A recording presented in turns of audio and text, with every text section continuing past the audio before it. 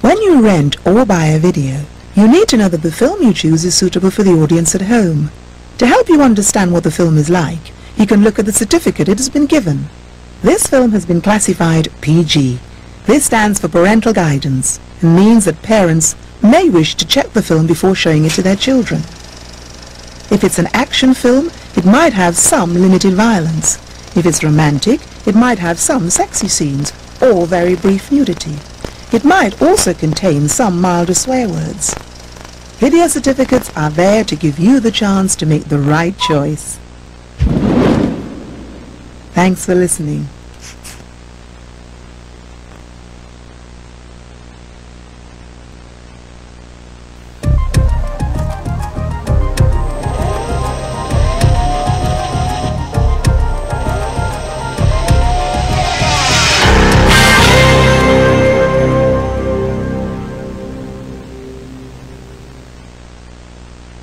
Coming